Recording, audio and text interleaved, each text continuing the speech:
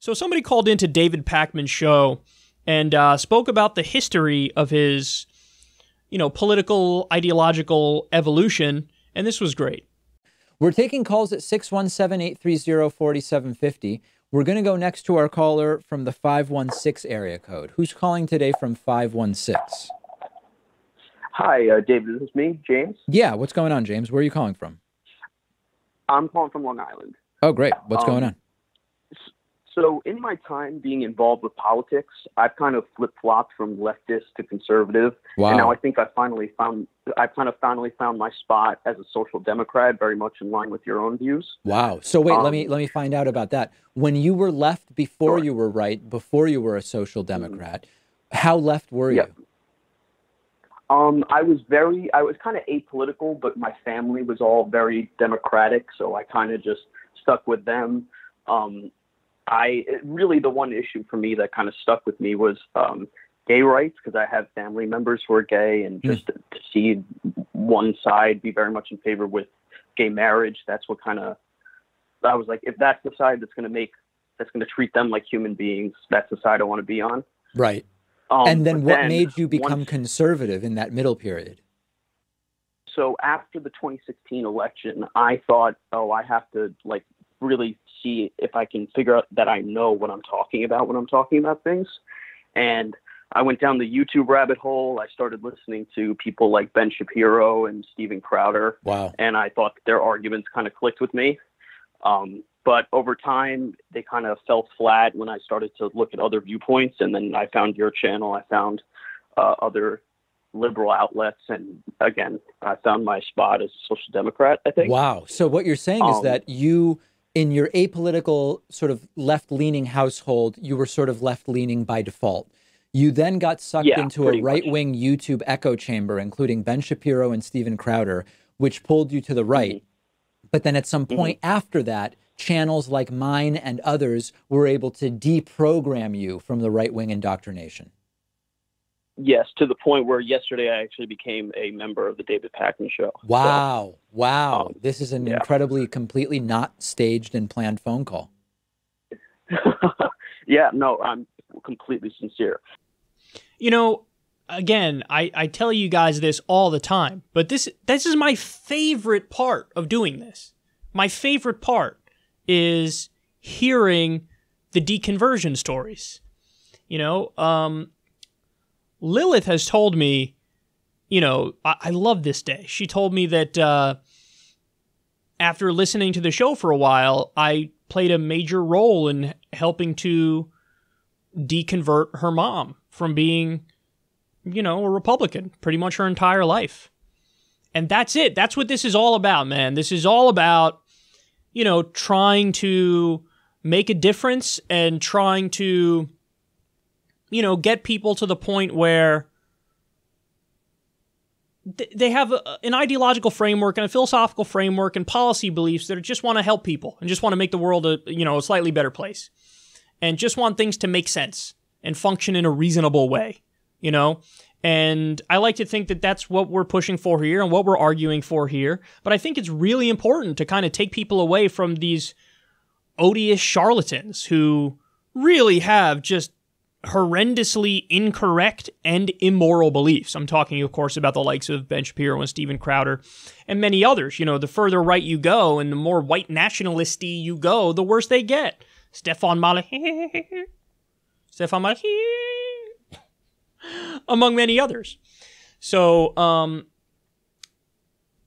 it really frustrates me though that this this explanation and this dynamic that David's talking about here, we, and when I say we, I mean the broader left wing uh, community on, YouTube and on Twitch and elsewhere, you know, we never get credit for it. it. Honestly, the only times you hear about it is when like David will bring it up, or I'll bring it up, or, or Jimmy Dore will bring it up, or you know, any of the left tubers. Which, by the way, I didn't know this until recently. Apparently, were called bread tubers. Okay, um, we're the only ones who you ever hear even mention it, and it's crazy that all you need to do is sneeze and you get profiles in mainstream media if you're a right winger. I mean, think about all those profiles about Richard Spencer with pictures of him in like a, a, suit and tie on the cover, like, yes, I'm very serious because I'm massively bigoted and I want a white ethno state. Yes. Like, that dude got countless profiles in mainstream media. And I'm not kidding about that. You go and check, you'll see. You'll see. And you'll see stories like, uh, you know, making of a YouTube radical with Caleb Cain, who explained how he got sucked uh, down that rabbit hole.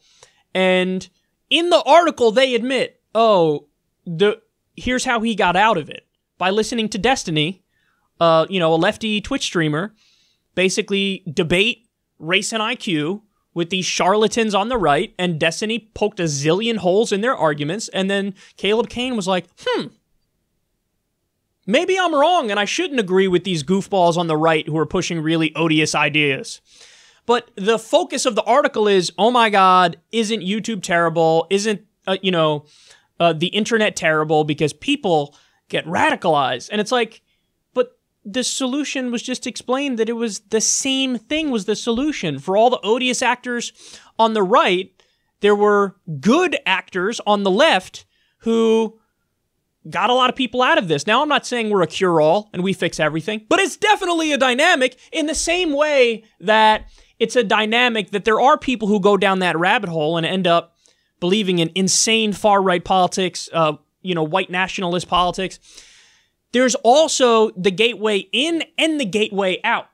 And that includes people like Destiny, that includes people like ContraPoints, that includes all the left wing YouTubers that you're all familiar with and you all know. Now, I get it. There 100% is infighting in the left wing uh, YouTube community.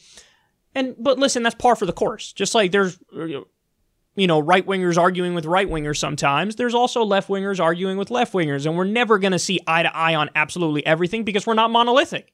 We're just not. But that's okay. That's okay because this isn't about groupthink. This is about telling you what we really believe and covering important news stories and politics stories. And, you know, you guys make up your own minds after you see everything that's presented to you. But the answer to bad speech, I know it's a cliche at this point, but it's kind of true, was more speech and was good speech. And it was Destiny whooping their asses. And um, here we are. Now, David put my name in the title of that video. He said, um, caller, you know, whatever, deconverted or whatever term he used uh, by David Pakman and Kyle Kulinski. That was actually very nice of David to put that in the title, but the dude didn't mention my name. he said, I saw your show and other um, lefty shows, and that helped change my mind. He never mentioned my name, so unless the call was longer or something and we didn't see some of it and he did mention my name at another part which i don't i doubt that so it's possible it was me it's possible it was any of you know a dozen other lefty youtubers but either way um, they landed in a place where we're at, and this is an important dynamic, and it keeps happening. And all we could ask for is more of this happens. And by the way, I don't care how the hell they get out of these beliefs, as long as they get out of them. I don't care which lefty YouTuber or Twitch streamer they like. I don't care um, the details of that or the specifics of that or the order of that, as long as people get out of those heinous and ugly beliefs and they start believing things that make sense. And again, totally reasonable and rational and fine to disagree with me on a number of issues. That's totally fine. But as long as you see that it this isn't nothing but a gross hellscape, you know, because that's the perception now of YouTube. Oh my God, it's a gross hellscape that's converting everybody to being a far right winger. And oh my God, censor more and deplatform more and crack down. And this is the mantra now in mainstream media, certainly, and in establishment circles of what needs to happen with YouTube. In reality, maybe the answer is you take some of the lefty YouTubers and you do give them the profiles. You do talk to them and say, hey, how did you do it, David? Hey, man, how did you deconvert this guy from, uh, you know, listening to Ben Shapiro and Steven Crowder? What is it about your, your presentation that works? Because here's the deal, guys. CNN ain't doing it. MSNBC ain't doing it. They show up to a gunfight with a super soaker. Seriously, nobody is convinced by them. Nobody's watching Don Lemon or Anderson Cooper and going, nailed it. You know? Nobody's watching Lawrence O'Donnell. I wonder what Lawrence thinks. Tee hee hee. No, it's a, we have a younger generation now that's getting politically involved. And they're not listening to the dude with the fucking teleprompter and the suit and tie who has perfect posture and he's like, let me tell you about what's happening today. There was a problem over the uh, over the Black Sea, and no, nobody. They're not doing that. Where they go is here.